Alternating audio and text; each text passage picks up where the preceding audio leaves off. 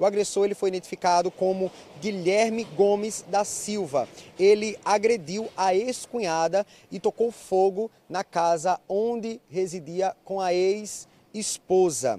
E daí, esse caso ele foi registrado por volta das 6 horas da noite, no finalzinho da tarde, ali naquela região, lá no bairro da Baixada. Inclusive, uma adolescente grávida de 16 anos, ela também foi agredida pelo acusado. Para a gente entender melhor a história, de acordo com informações repassadas pela polícia, Guilherme ele já havia ameaçado a vítima há aproximadamente três meses. Inclusive, segundo relatos da própria vítima, a ex-cunhada dele, ela disse que ele chegou a dizer que com a ex-esposa ele não iria fazer nada, mas que ele iria matar a ex-cunhada. A polícia ainda investiga para saber de fato essa relação entre os dois, se a ex-cunhada seria teria feito alguma coisa ou falado para que esse relacionamento chegasse ao fim, que segundo ela, a irmã era espancada diariamente. Eles tinham uma relação, inclusive, também muito conturbada, viu?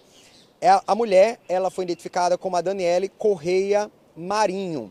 E as ameaças, elas tiveram início após a separação de Guilherme e daí esse relacionamento era muito conturbado. Com ela, ele tinha dois filhos também. E no final da tarde de ontem, de acordo com relatos de moradores, vizinhos que presenciaram toda essa discussão, o acusado ele abordou a vítima, a ex-cunhada, e disse que ele iria matar ela. Ela, assustada, pegou a moto e foi até a. tentou ir, na verdade, até a polícia para prestar depoimento, fazer um boletim de ocorrência, sendo que quando ela ia sair na moto junto com essa filha de 16 anos, estava grávida, esse homem, ele pegou um pedaço de pau e arremessou contra a cabeça dessa mulher.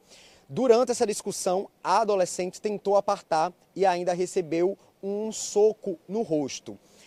Diante desse fato, ela foi socorrida a unidade de saúde com um grande ferimento na região da cabeça. Inclusive, de acordo com o Hospital de Emergência e Trauma de Campina, ela recebeu 11 pontos na cabeça e 3 nessa região aqui acima da sobrancelha. A filha dela não teve nenhuma escoriação grave, apenas esse soco que ela recebeu no rosto.